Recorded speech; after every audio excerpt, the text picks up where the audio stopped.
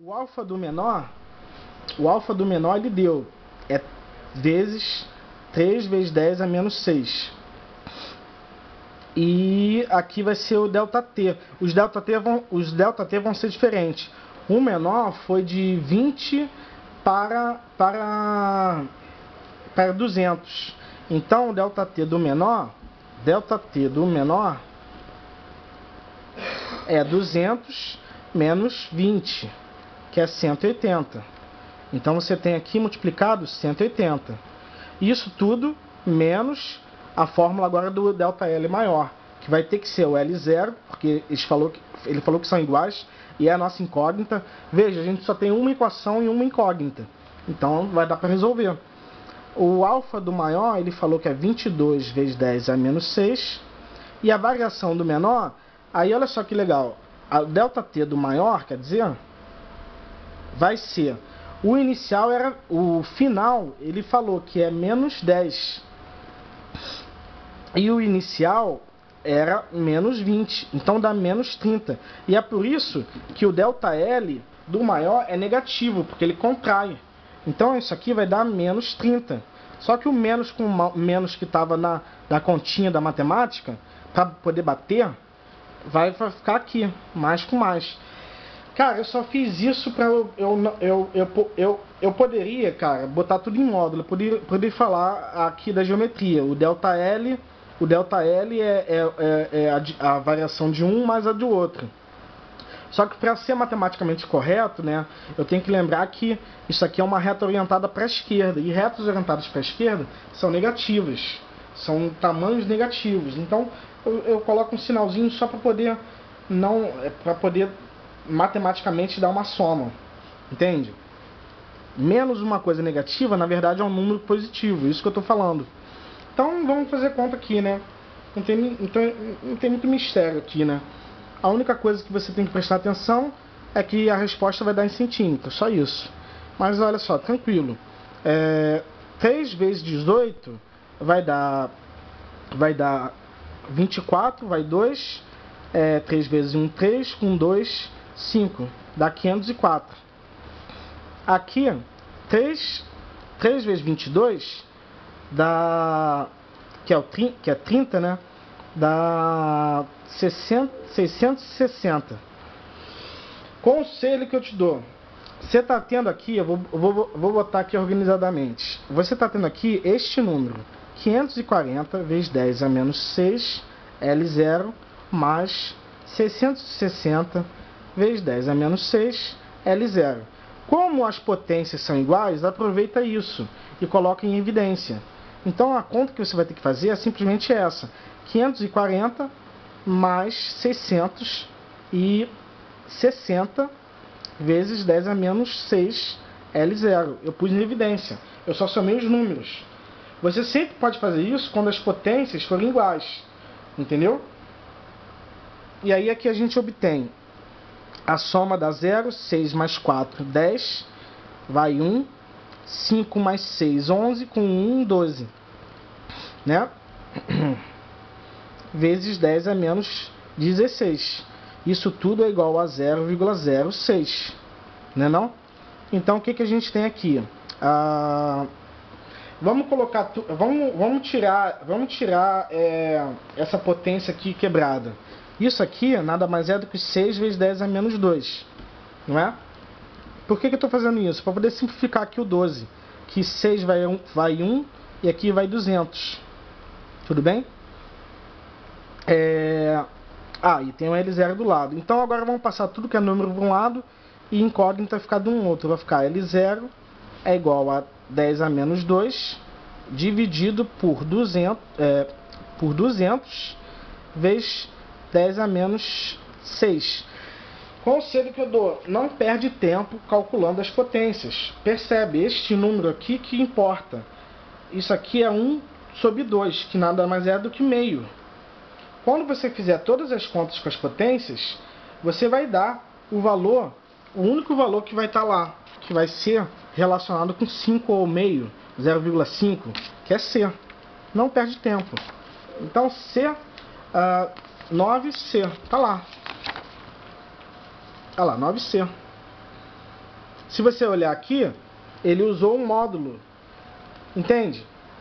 Ele usou geometria, igual, igualmente eu, só que para ele não, ele, para ele não, eu não trabalhar com módulo, eu coloquei um menos na frente, porque eu sei que esse ΔL é negativo. Somente isso. Nada demais, tá bom? É pura trabalhar com, é puramente trabalhar com geometria.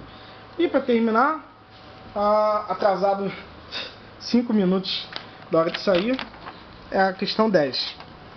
Questão 10, 9S, 9SC, né? Questão 10. Tomara que ela seja tranquila. Vamos ver. Analise a figura a seguir. Você tem aqui uma régua de 10 centímetros o ponteiro. Aqui você tem 2 centímetros. Aqui você tem 30 centímetros. Não sei o que é isso. Para, para ilustrar a dilatação dos corpos, um grupo de estudantes apresenta em uma feira de ciência o instrumento esquematizado na figura mostrada. Uh, nessa montagem, uma barra de alumínio com 30 centímetros de comprimento está apoiada sobre dois suportes, tendo uma extremidade presa ao ponto inferior uh, do ponteiro indicado e, ao, e a outra encostando em um anteparo fixo. É, o ponteiro pode girar livremente em torno do ponto O, sendo que o comprimento de sua, de sua parte superior é 10 cm e o da inferior é 2, 2 cm de barra de, de alumínio. Inicialmente, a temperatura de 25 graus Celsius foi aquecida a 225. O deslocamento da extremidade superior do ponteiro será aproximadamente de coeficiente de dilatação do alumínio, 2, 10 a menos 5. Eu já fiz esse experimento. É, esse negócio é simplesmente o seguinte: aqui está a barra de alumínio e aqui está um ponteiro esse ponteiro ele, ele fica girando assim, ó. Ele fica girando assim, pensa assim, ó. O ponteiro está girando para lá e para cá. Aí tem uma barra de alumínio que está encostada nele. Se essa barra de alumínio é, é, é, dilatar, ela vai empurrar o ponteiro assim e o ponteiro vai, vai marcar lá em cima quantos centímetros ele aumentou, usando a angulação, tudo bem? É simplesmente esse problema. Vamos ver o que, que ele deu. Ele deu o comprimento inicial do... Ele deu o comprimento... Então, vamos fazer o desenho. O que está acontecendo é isso aqui, ó. O... A barra... A barra dilatou. Aqui vai estar tá o ponto fixo O. E aqui vai estar... Tá, vou exagerar. Aqui vai estar tá o ponteiro. E aqui estava a posição inicial do ponteiro. Né? Essa daqui, essa posição inicial, seria o L0. Né? E esse, esse daqui é o delta L é, o que, que vai acontecer? Você vai ter aqui um, uma, você vai ter aqui triângulos, triângulos semelhantes, né? Você tem esse triângulo sendo semelhante a esse, por opostos pelo vértice. Então esse tamanho, esse tamanho aqui é 2 centímetros e esse tamanho aqui é 10 centímetros. Ele, é, por que, que a gente usa essa, que, que, é, que, que é utilizar esse ponteiro? É, você tem uma, você tem uma variação muito pequena. Mas como você está usando aqui um braço maior, as relações de, de, proporção vão, vão multiplicar, vão, vão potencializar, vão amplificar esse, esse tamanho visto aqui pelo quanto que o ponteiro vai, vai deslocar. Então, basicamente, o que ele quer saber é esse x aqui, não é? Deixa eu ver, o deslocamento da extremidade superior do ponteiro será, ele quer saber esse x aqui. Esse que é o deslocamento da extremidade superior. Ou seja, calcular ΔL e fazer regra de 3. Tranquilo. ΔL a gente já sabe, né? É a fórmula L0 alfa delta T. Quanto que era o L inicial? Era 30 centímetros. 30 centímetros. Quanto que é o alfa? O alfa ele deu, é 2 vezes 10 a menos 5. E qual a variação de temperatura? Ele falou que a final é, do, é 225 e a inicial é 25. Então deu 200. Né? Então, é, vamos multiplicar os números. Você tem, você tem 2 vezes 2, 4. 4 vezes 3, 12. Então eu tenho 12. E agora quantos zeros? 1, 2, 3. 1, 2, 3. Vezes 10 a menos 5. Ora, a gente, a gente sabe que isso aqui nada mais é do que 12 vezes 10 a 3 vezes 10 a menos 5. Quando você calcular a potência, você vai ter lá é, 12 vezes 10 a menos 2. Então, 0,12 centímetros. Né? Tá, tá tudo em centímetro. Tá vendo como é que isso é muito pequeno, cara? Isso aqui é menor que um centímetro. Isso aqui está em milímetro. Você tem um milímetro com uma régua de, uma régua de alumínio de 30 centímetros. Então isso aqui é muito pequeno, só que quando você multiplicar pela razão aqui, os 0,12 centímetros vão amplificar. Então vamos fazer assim, olha, regra de 3.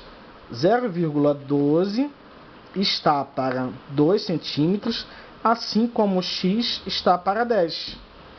12 simplifica com 12 dá 0,06 e 10 multiplica dá x igual a 0,6 centímetros. Ora, parece, parece que é pouco, mas, ora, centímetro, as respostas estão em milímetros. Mas você não precisa passar. A única que tem o 6 é C. Então a resposta é C. Cara, pensa,